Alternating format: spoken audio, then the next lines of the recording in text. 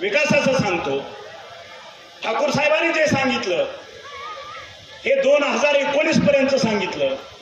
दोन हजार एकोणीस नंतरचं मी सांगतो. त्यावेळेस सत्य बदलायचं काम चाललेलं होतं आमदाराचं काउन्सिलिंग आमचं चाललं होतं. देवेंद्रजी फडणवीस साहेब आणि माझ्या मिटिंग होत होत्या. आमच्या आत्ताचे लाडके मुख्यमंत्री एकनाथजीभाई शिंदे आणि माझ्या. जवळपास त्या दोन वर्षामध्ये शंभर ते दीडशे मिटिंग झालेल्या होत्या. माझे मराठवाड्यातले आमदार असतील माझ्या विदर्भातले आमदार असतील माझे पश्चिम महाराष्ट्रातले आमदार असतील. प्रत्येक असं मी काउन्सिलिंग करत होतो. आणि हे सांगून करत होतो असा झाकून करत नव्हतो. उघड मात्याने करत होतो.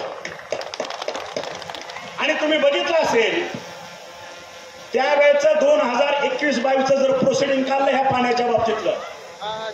परत बारामतीकरांनी ह्या मराठवाड्याला घोडा लावायचं ठरवलं होतं. त्याचं कारण तुम्ही बघितलं असेल त्यावेळेच्या प्रोसिडिंग काढा. कृष्णा मराठवाडा जे कृष्णा उजनीचं स्थिरीकरण भीमा कृष्णा स्थिरीकरण हे पाणी ते आणून उजनीत टाकायचं. उजनीतनं जेवर कालव्यातनं मिरगावांना आणायचं जे आता काम चाललंय. मिरगावांमधनं ते आपले पाणी कोळगावमध्ये टाकायचं आणि कोळगावमधून मग ते भूम परांडा वाशी उमरगा लोहारा तुळजापूर आणि आष्टी बीड तालुका जिल्ह्यातलं. एवढ्या तालुक्यांना हा पाणी पुरवठा होणार होता.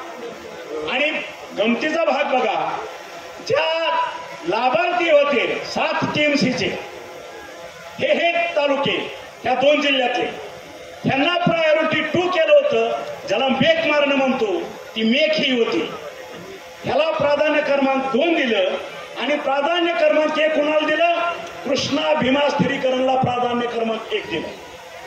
आता मग तुम्ही मला विचारलं ह्याच्यातले मेघ काय हे तरी बरोबर आहे ना? हे बरोबर नव्हतं मित्रांनो. एक ध्यानात ठेवा.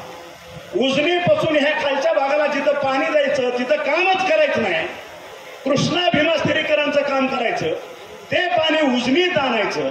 आणि पणा इकडे काम झालं नाही म्हणून हे पाणी पुन्हा बारामतीला पळवायचं हा उद्योगधंदा झालेला आज तुमच्या साक्षीनं ठाकूर साहेब हे जाहीर करतोय मी. आणि ह्याचं कागदावरती रेकॉर्ड आहे तुम्ही बघून घ्या तपासून घ्या.